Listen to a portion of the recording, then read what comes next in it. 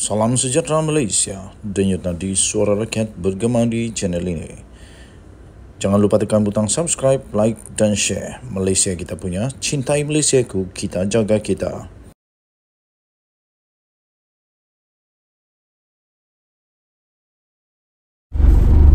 Salam sejahtera Malaysia. Selamat pagi tuan-tuan dan puan yang dihormati sekalian. Ramai orang bertanya dengan saya, apa keadaan Rafizi Ramli sekarang? Okey, so saya pun mencari mencari berita maklumat tentang keadaan terkini uh, Rafizi Ramli iaitu Menteri Ekonomi Negara Malaysia. Uh, seperti yang kita tahu baru-baru ini uh, Rafizi Ramli telah diserang dengan serangan jantung dimasukkan ke hospital dan banyaklah uh, cerita-cerita yang pelik-pelik, yang benar, yang tak benar, yang berlegar-legar. Akhirnya hari ini Saifuddin Nasution telah uh, memberikan perkembangan terkini Rafizi Ramli bagaimana keadaan dia sekarang dan dikabarkan Rafizi Ramli sudah pun selamat menjalani prosedur stent jantung. Okey, jadi dia dalam keadaan yang okey tetapi dia ada prosedur dinamakan sebagai stent. Menteri Ekonomi Rafizi Ramli selamat menjalani pemasangan stent jantung minggu lepas. Dalam kenyataan itu, Menteri Dalam Negeri iaitu Datuk Seri Saifuddin Nasuddin Ismail berkata Rafizi kini sedang berehat. Disahkan sedang berehat selepas menjalani prosedur tersebut. Perkara itu, kata Saifuddin, dimaklumkan sendiri oleh sumber yang terdekat dengan Rafizi Ramli. Katanya, dia selamat jalani prosedur stent jantung dan beliau kini sedang berehat di PPUM sekarang berehat katanya. Beliau berkata demikian kepada pemberita selepas majlis sambutan Jubli Intan 75 tahun di Jabatan Pendaftaran Negara JPN di sini hari ini. Pada 21 Oktober yang lepas, Menteri Kesihatan iaitu Dr. Zaliha Mustafa telah memaklumkan bahawa Rafizi yang juga timbalan Presiden PKR memang disahkan dalam keadaan yang stabil. Saifuddin menyifatkan Rafizi adalah seorang yang kuat bekerja dan mementingkan kesempurnaan dalam setiap kerjanya. Beliau berkata mengenali, mengenali Rafizi, dia memang seorang yang degil kalau doktor kata dia kena rehat dua, dua minggu, barangkali seminggu, dia sudah datang pun kerja. Hmm, kerja, datang kerja, masuk kementerian. Dia seorang yang sangat kuat bekerja, kata uh, Saifuddin. Nasution. Nah, ini barulah uh, yang layak dipuji. Uh, ini nak pergi parlimen pun selalu ponteng. Uh, jarang-jarang pergi parlimen. Lepas itu baru bising-bising di luar tapi waktu waktu uh, pembentangan ke waktu perbahasan di parlimen tidak datang. Akhirnya uh, Datuk Seri Anwar Ibrahim sendiri kata, "Ya itulah lain kali datanglah parlimen, janganlah ponteng supaya boleh dengar pembentangan." Nah, kena sebiji. Ah ini Rafizi Ramli memang beginilah cara kerja yang memang dia memang terbaik. Jadi saya fikir tidak salah Rafizi Ramli menjadi menteri uh, ekonomi. Uh, jadi uh, Saifuddin juga berkata kalau saya berpeluang bercakap dengan dia, saya mau nasihatkan beliau supaya pastikan betul-betul sihat dulu. Tahap kesihatan pulih sepenuhnya kerana beliau memikul tanggungjawab yang amat besar. Kementerian Ekonomi berat dari segi melengkapkan data mengenai pelaksanaan penyasaran subsidi. Jadi beliau memegang tugas yang sangat besar kata beliau. Tambahnya saya tahu dia seorang yang perfeksionis dan akan berusaha melengkapkan sampai pada masanya. Bukan buat kerja secara sempurna ataupun ala kadar. Tambahnya yang mendoakan semoga Rafizi kembali pulih. Mari kita semua rakyat Malaysia sama ada uh, pembangkang kah, kerajaan kah, tak main politik kah, suka politik, tak suka politik, apapun lah, siapapun kita punya latar belakang, sama-sama lah doakan sesama kita yang baik-baik. Jadi saya ingin uh, mengajak semua rakan-rakan rakyat Malaysia, kita doakan bersama-sama semoga YB yang berhormat Rafizi Ramli, Menteri uh, Ekonomi Malaysia, supaya cepat sembuh dan beliau dapat meneruskan kerja sebagai menteri. Kita jumpa lagi. Bye-bye. Salam sejahtera Malaysia. Denyut nadi suara rakyat bergema di channel ini. Memeranjatkan seluruh Malaysia. Apabila Wan Saiful Wanjan dapat DNA, ha, dapat tiba-tiba dapat DNA, iaitu status dia dilepas tanpa dibebaskan oleh mahkamah pada hari kemarin. Walaupun begitu tiba-tiba ah kecewanya tiba-tiba tuan-tuan dan puan-puan. Rupa-rupanya tak sampai pun 30 minit Wan Saiful dapat uh, DNA itu iaitu dilepas uh, status dilepas tanpa dibebaskan. Tidak pun sampai 30 minit Wan Saiful Wanjan dilepaskan tanpa dibebaskan. Eh di, uh, dilepas tanpa dibebaskan. Rupa-rupanya itu hanyalah satu kesilapan sistem. Haha. tak ada harapan. Kesian, kesian. Ralat pada sistem komputer mahkamah menyebabkan pemimpin bersatu Wan Saiful Wanjan mendapat status dilepas tanpa dibebaskan oleh mahkamah pada hari ini, itu kemarin ya. Tiba-tiba saja mesti dia gembira, oh menang 30 minit.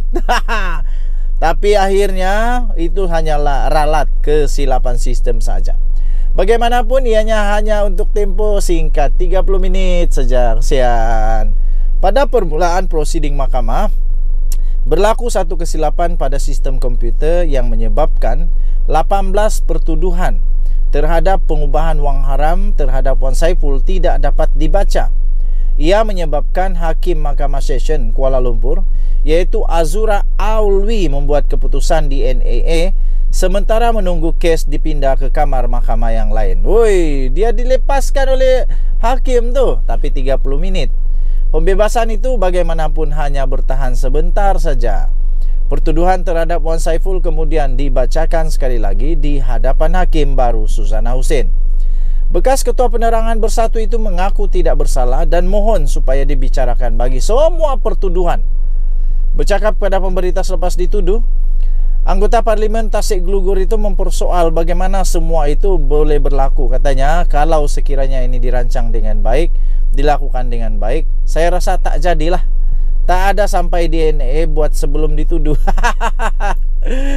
Kesian. Ah, aduh sudah gembira tapi rupanya apa yang terjadi ialah Wan Saiful Wanjan bukan sahaja tidak dibebaskan tetapi dituduh didakwa dengan 18 tuduhan pengubahan wang haram 18 pertuduhan bukan sikit cek 18 ah, jadi kalau 18 ini salah satunya sangkut ah, salah satunya sangkut dia boleh dihukum penjara ni dia boleh dihukum penjara 15 tahun dan denda tidak kurang 5 kali ganda atau hasil aktiviti haram atau 5 juta ringgit Malaysia mana yang lebih tinggi. Ah kes dia adalah ahli parlimen Tasik Glugur Datuk Wan Saiful Wanjan didakwa di Mahkamah Session pada hari ini kemarin 18 pertuduhan membabitkan pengubahan wang haram berapa? 6 juta.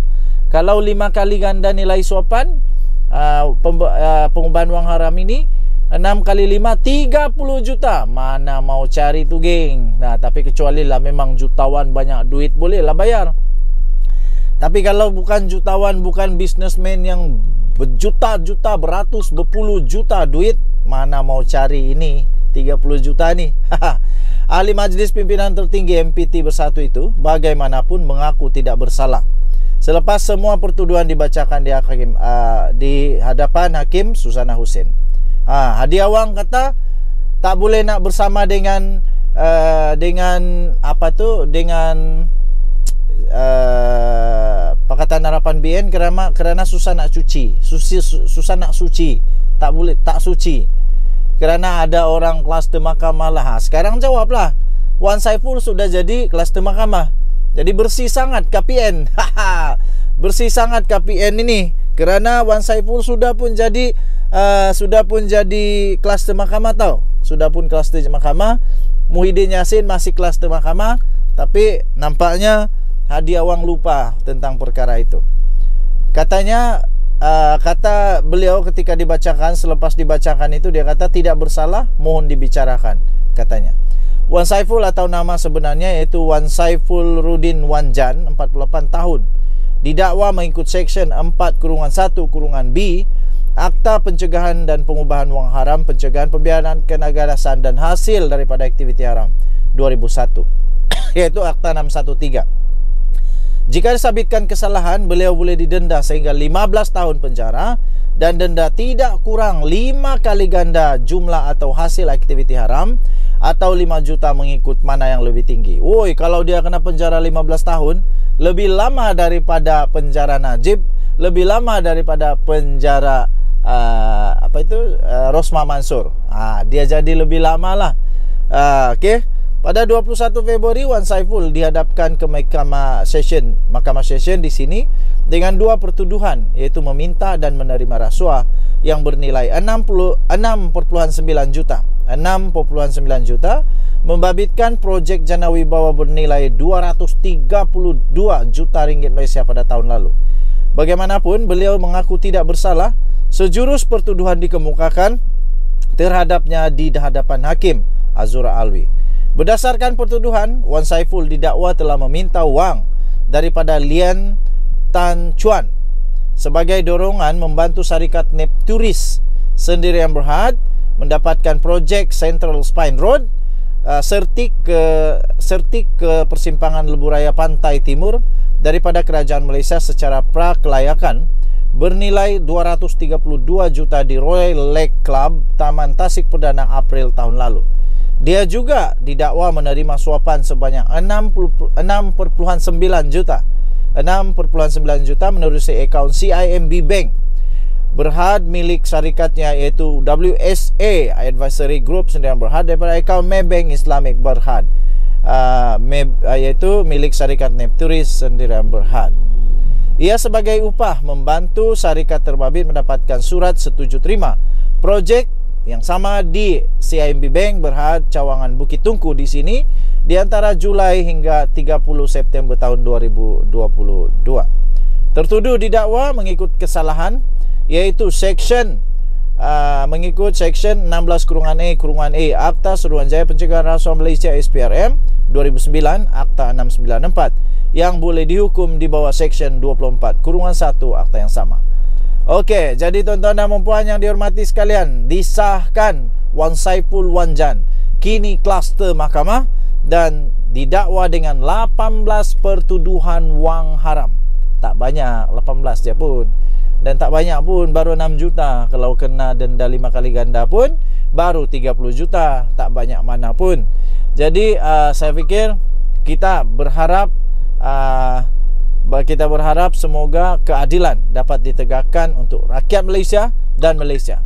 Kalau dia uh, ternyata tak bersalah, bebaskan. Kalau bersalah, jangan malu-malu. Selamat datang ke Sungai Buloh. Uh, Denyok Nadi, suara rakyat bergema di channel ini. Bye-bye.